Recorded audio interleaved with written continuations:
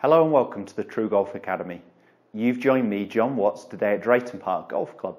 I'm in my swing studio again, uh, and I have to apologise for this. I was planning to go outside today, but it's minus two, feeling minus seven, and uh, I'm a delicate little flower. I didn't want to go purple on camera. Uh, it's a little bit too cold out there for me, so I, I, thought I'd come in, film a couple of videos that I wanted to do inside anyway.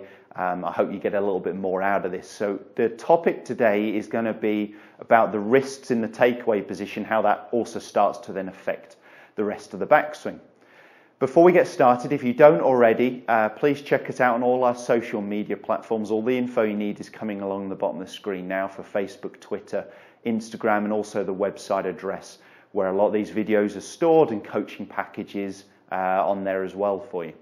So, I want to talk about, as I said, the, the wrists, the role of the wrists in the takeaway position, and I'm mainly going to be talking about my lead wrist. So for me, as a right-handed golfer, I'm talking about my left hand, uh, my lead wrist there, and what that's trying to do in the takeaway. So the couple of key points we're really looking for in that first takeaway movement, if we forget about the hands for a second and focus more on the club, is I like to see the club just slightly outside my hands rather than here on the inside. Okay? We don't mind the club shaft parallel to the feet, but I like to see the club just slightly outside your hands in that takeaway position.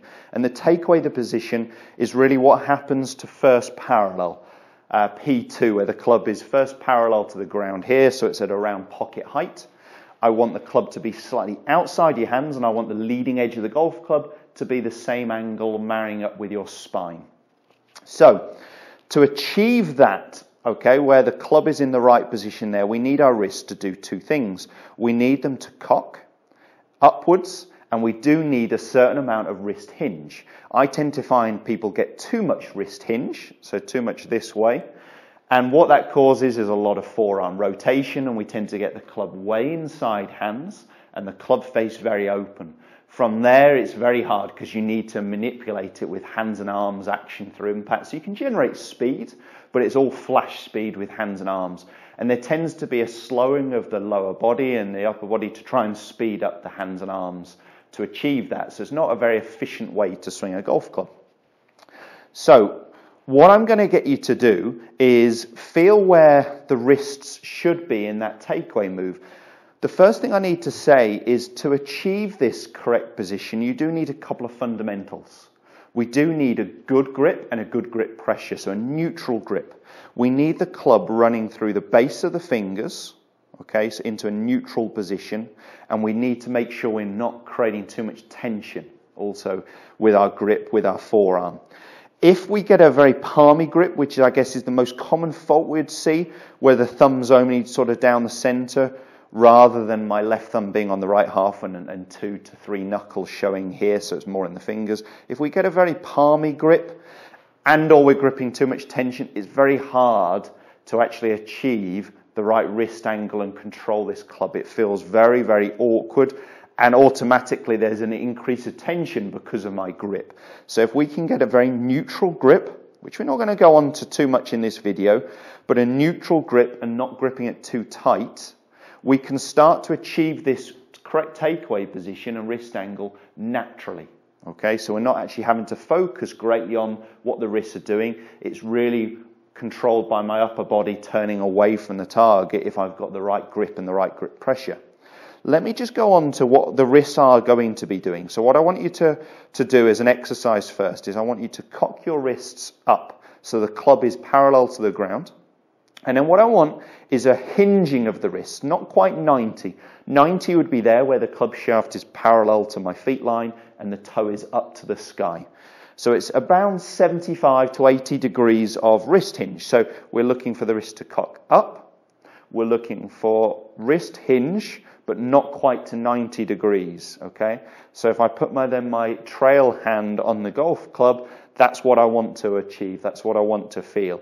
From there, it's really a rotation where my lead shoulder is working under my chin and my chest is turning away from the target to get to the correct top of the backswing position. And again, where you'll see my left wrist is in a pretty neutral, flat position, not in a cupped position and not in a bowed position here. So, Good grip, good grip pressure. Cock the wrists up. Hinge, not quite to 90. Put your trail hand on. What I'm going to ask you to do is then go ahead and actually hit the shot from there. So let's try that. Cock my wrists up. Hinge, not quite to 90. So I've got the checkpoints I was looking for with the club head. Turn and hit. Might land on the line. I'm happy with that one. Yeah, so great data, but I'm not overly worried about the ball flight uh, when doing this exercise. It will feel a little bit alien, but it's great to get that feeling of where you should be in the takeaway position and turn and hit from there. I'm going to then go on to doing it a little bit more naturally. So what I want you to do is actually get into that position, stop there, look back at the ball, turn and hit. So we're getting to this position by having the right grip, the right grip pressure, and just turning my chest away from the target, then I'm into this natural position, same position I was trying to get with my lead wrist. So from there, we're going to turn and actually hit. So let's try one of those.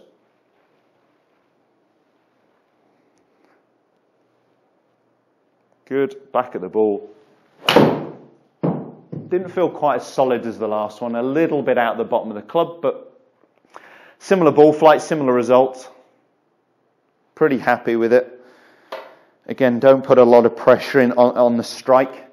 Once you've done those exercises, you can go into blended into a, a full swing at full pace without stopping.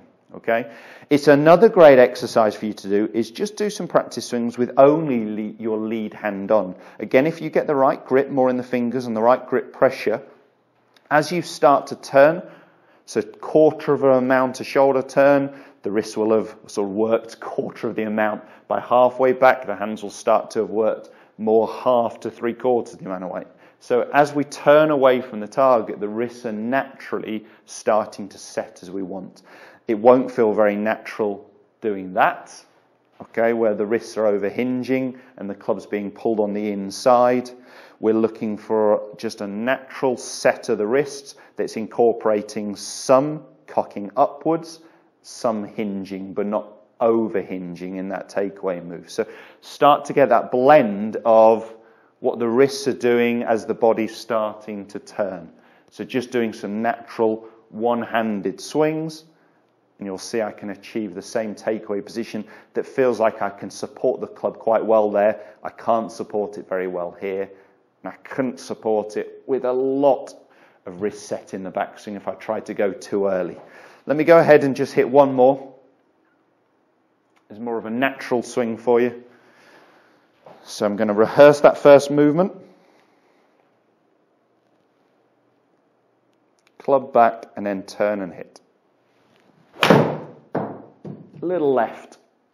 The worst one of the three, actually. I'm going to quickly show you the data, not overly important.